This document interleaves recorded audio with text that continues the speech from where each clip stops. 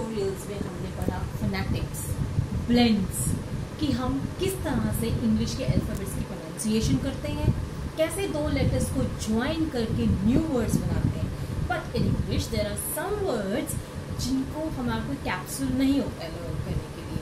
हमें उनको eight a glance एक बार देखने से ही उनको मेमोराइज करना पड़ता है लर्न करना पड़ता है और पढ़ना पड़ता है। Like these are called sight words what are they called sight words like is हमें इसको ऐसे नहीं पढ़ना it's just is what is it it's just is in it if at like it's a over here the a की sound होती है and at as and am are though they them or of for do on has have had was it is w so it is pronounced as w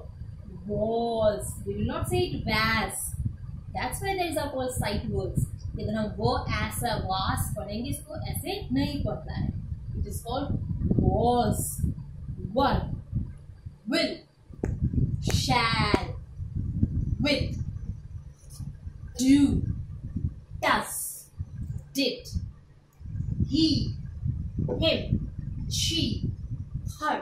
इसी तरह से और भी बहुत words होते हैं on front here there come so there are so many words which are called side words जिनको हमें मेमोराइज करना पड़ता है एट ए ग्लास हम उनको देख के पढ़ना So well done students, I expect you all learn these words by heart. Bye bye for now.